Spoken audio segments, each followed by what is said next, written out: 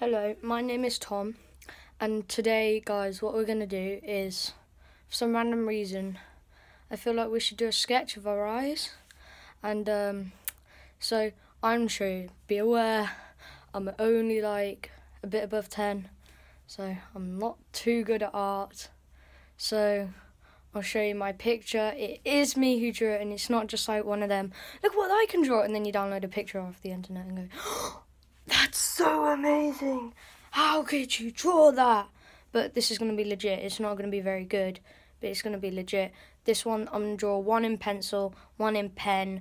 Comment on your favourite.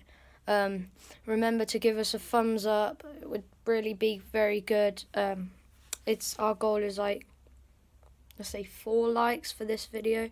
And um, we just need to get 10 subscribers. That would just be quite, that would be good that that would be very good. So I'll play the pencil and then I'll play the um, pen.